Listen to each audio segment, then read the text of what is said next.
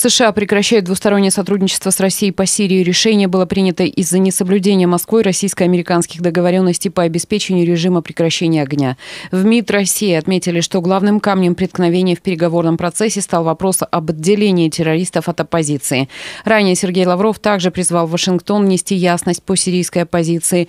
Новый проект о перемирии был согласован с США и Россией в начале сентября. Активизация военных действий сирийской армии Башара Асада при поддержке российской авиации в Алеппо резко обострила отношения между Москвой и Вашингтоном. На данном этапе российско-американское сотрудничество по Сирии ограничивается использованием канала связи для обеспечения безопасности военных с обеих сторон. Председатель Европейского парламента Мартин Шульц считает, что результаты провалившегося референдума в Венгрии по квотам Евросоюза на прием беженцев стоит использовать для переговоров по поводу европейской миграционной политики. По словам Шульца, сейчас есть реальная возможность найти компромисс между сторонниками и противниками этой меры. Голосование прошло по инициативе премьера Виктора Орбана, известного евроскептика и ярого противника приема беженцев. Депутат Европарламента от Бельгии Филипп Ламбер полагает, что итоги несостоявшегося референдума могут сыграть на улучшение имиджа Венгрии. В свою очередь, британский евродепутат Найджел Пол Фараж приветствовал результаты голосования в Венгрии и услышал в них отголоски Брексит. Чрезвычайное положение в Турции продлено на три месяца, начиная с 19 октября. В этот день истекает срок предыдущего ЧП, который власти ввели 20 июля. Режим чрезвычайного положения был введен после неудачной попытки государственного переворота, которая произошла 15 июля этого года. В ходе переворота погибли около 250 человек. Власти Турции обвинили в его организации живущего в США проповедника Фитхулу Гюлена. Сам он отрицает причастность к мятежу. В ходе чисток, проведенных правительством после попытки переворота, несколько десятков тысяч человек были выдворены из страны или лишились работы. Количество арестованных оценивается в 32 тысячи человек. Накануне турецкие власти арестовали брата Гюлена, ставшего первым из близких проповедника, попавшим под арест. Сообщается, что антитеррористическое подразделение полиции смогло найти его по наводке одного из родственников.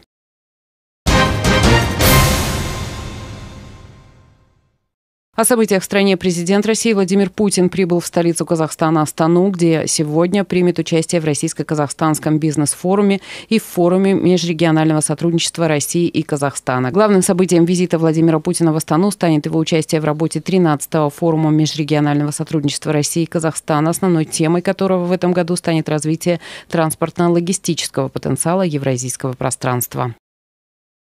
Международные резервы Казахстана в сентябре 2016 года по сравнению с предыдущим месяцем увеличились на 0,2%, а с начала года на 4,8%, составив 95 миллиардов 8 миллионов долларов США.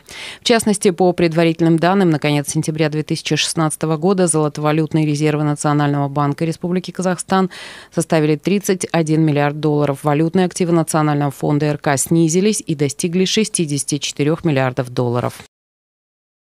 Казахстане по состоянию на 30 сентября 2016 года с начала проведения кампании легализовано 105 объектов и ценных бумаг на общую сумму 853 миллиарда тенге, а также денег на сумму 1 триллион 681 миллиард 500 миллионов тенге, указывается в сообщении Министерства финансов РК. В комиссии при местных исполнительных органах и в органы госдоходов поступило 108 909 заявлений на легализацию жилых объектов и нежилых объектов, в том числе коммерческих и ценных бумаг. По легализации имущества, находящегося за пределами РК, в органы госдоходов поступило 176 заявлений. В бюджет в виде сборов поступило свыше 4 миллиардов тенге. Напомним, кампания по легализации имущества началась в Казахстане 1 сентября 2014 года и продлится до 31 декабря 2016 года. Известный шведский путешественник Кристиан Бодегрен намерен оригинальным способом прорекламировать предстоящую в Астане международную специализированную выставку «Экспо-2017».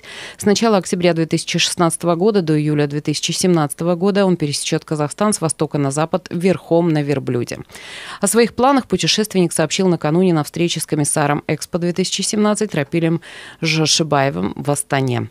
В свою очередь Жошибаев пригласил Бодегрена посетить выставку «Экспо-2017» по возвращении из путешествия, пожелал ему счастливого пути и передал флаг Экспо. Выставка пройдет в Астане с 10 июня по 10 сентября 2017 года с участием 100 стран мира. Городским событием в Актубе стартовал отопительный сезон. Около 400 жилых домов и свыше 140 социальных объектов уже подключены к централизованному отоплению.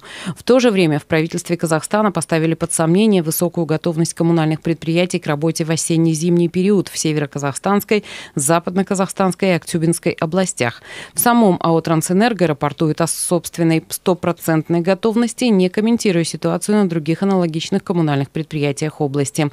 На сегодня тепло подали во все социальные объекты, школы, детские сады, больницы и интернатные учреждения. Всего этим летом АО «Трансэнерго» отремонтировала более трех километров теплосетей. Вскрытые из-за ремонта участки на предприятии обещают привести в порядок в самое ближайшее время.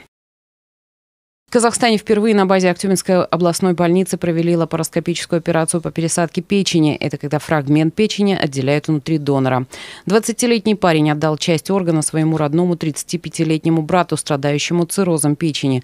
В брюшной полости эндоскопа на мониторе все, что скрыто от глаз. Данная операция транслировалась в 3D-формате в конференц-зале областной больницы в рамках шестого съезда эндоскопических хирургов.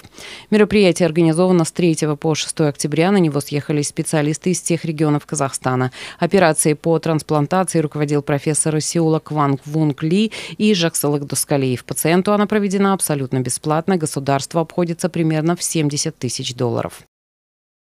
В городском филиале партии «Нуратан» подвели итоги работы общественной приемной за 9 месяцев текущего года. За данный период поступило 635 обращений граждан, 200 из которых решены положительно. С начала года депутатами городского маслихата были проведены 154 встречи с населением. 47 раз актюбинцам была предоставлена возможность задать свои вопросы районным акимам, их заместителям и руководителям госорганов. И это все новости к данному часу. Следите за развитием событий вместе с нами.